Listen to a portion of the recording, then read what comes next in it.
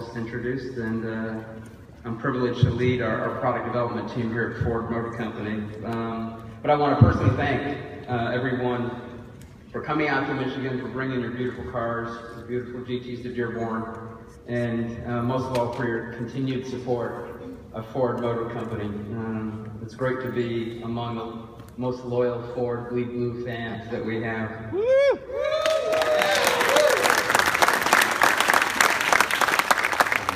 Um, just a, a, couple bits of housekeeping first. Um, obviously, we're really proud to bring uh, a lot of the, the models and the styrofoams and the clays and sketches we've uh, used in, in, developing the new GT, but please keep in mind these are studio models. Um, they're really fragile. Um, uh, most of them are clay or, or like styrofoam, so please do not touch any of the properties.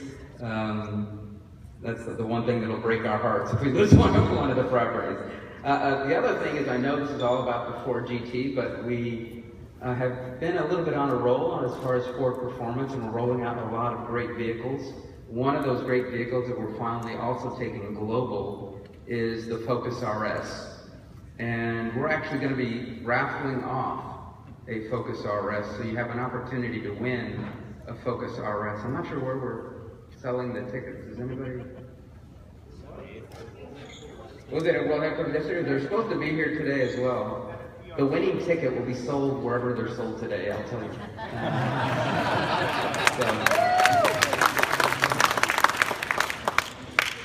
so, so um, you know, uh, you're probably looking at one of the bigger fans of, of the, the Ford GT right here, and um, you know, I was lucky enough to be a small part of the original team. I got my old launch jacket, to dig deep in the, the closet for it. Feels a little tighter than I remember.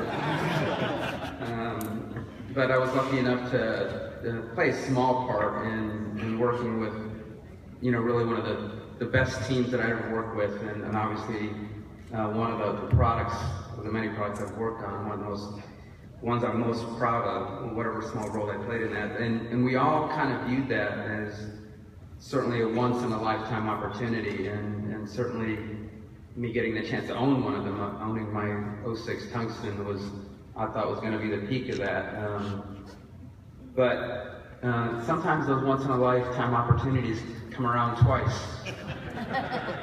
and um, so uh, the chance of the 50th anniversary coming up and um, for a company like us where we're, we're at our heart a family company and heritage means so much to us, just a lot of us felt we, we have to do something to celebrate that. And um, certainly returning to Le Mans coupled with being able to do a production car was the highest point of delivery and beyond our dreams and to some point, but we decided to shoot for that anyway.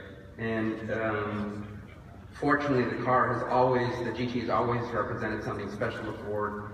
Um, it, there's a lot of emotion in, in, the campus and in the building around it. And so, um, through a lot of hard work and a lot of team members you're going to talk to that are, are here right now, we were able to put something together um, that um, the CEO and the chairman and the board were able to support.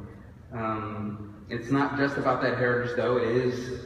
It's about the innovation that we stand for as a company now. Uh, and hopefully you see that in all the products, you know, whether it's uh, the light weighting, whether it's the aerodynamics, whether it's EcoBoost engines, you see that taken to the nth level in the Ford GT. And so it means so much more to us than just a single car. It, it, says everything about our capabilities as a company, our capabilities as an engineering team, and seeing all of that down in the rest of the Ford family of vehicles. Um, so on all of these fronts, we think we're really pushing all those aspects with the new GT um, to the to the to love the boundaries to areas we didn't think we could even go, and some of the technologies we're, we're going to be talking about later. We can't talk about all of them now, but you know about quite a bit of it. So, but on that front, um, I'm, I'm thrilled to share a little bit of news that I hope you guys are um, going to take well related to the ownership process. Obviously, a lot of you um, have expressed interest in purchasing the production version uh, of the next generation Ford GT, and I saw a lot of you at, at the dinner last night. Thanks for all those drinks. Uh, didn't have to pay for a drink all night. It was great. Um, There's more. so obviously a lot of interest in the vehicle, and and also um, you know very different than um, the 0506 GT because of the technologies we're using, because of the production processes. Um, it's a very limited run at 250 years, so this is going to going to be um, you know the rarest Ford model that we've ever done. Um, so clearly there's been a, an aspect of a lot of questions about how's this ordering process, how's this allocation process, et cetera, going to work.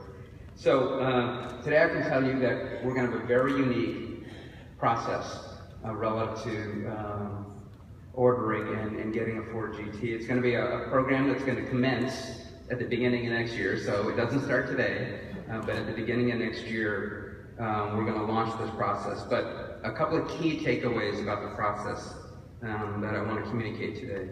Um, first, uh, the next generation Ford GTs will be assigned on a customer basis.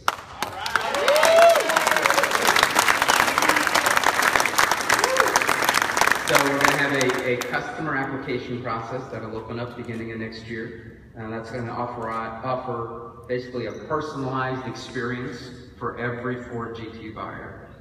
Uh, anyone can apply, but priority is going to be given to loyal Ford customers, including current Ford GT owners.